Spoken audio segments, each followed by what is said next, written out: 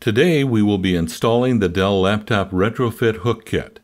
Item number 71101385 onto a Dell Latitude rugged laptop docking station and cradle in order to accommodate the new Dell Latitude 5430 rugged laptop and Dell Latitude 7330 rugged extreme laptop.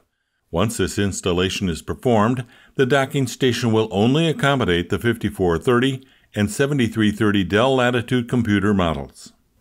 This retrofit kit is designed to work with Dell Latitude rugged laptop docking stations. Item number 7160088200, 7160088203, revision N and prior, and Dell Latitude rugged laptop cradles.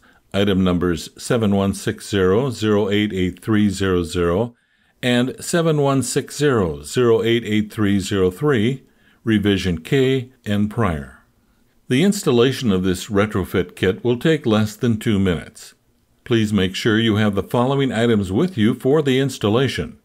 Your existing Dell laptop docking station or cradle, the Dell Laptop Retrofit Hook Kit, which includes a 5 32 inch Allen key, two retrofit hooks, and the instruction sheet.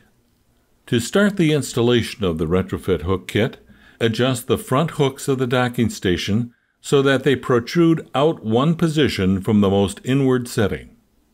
Next, use the supplied 5 32 inch Allen key to remove both countersunk screws that hold the two front blue bumpers on the docking station.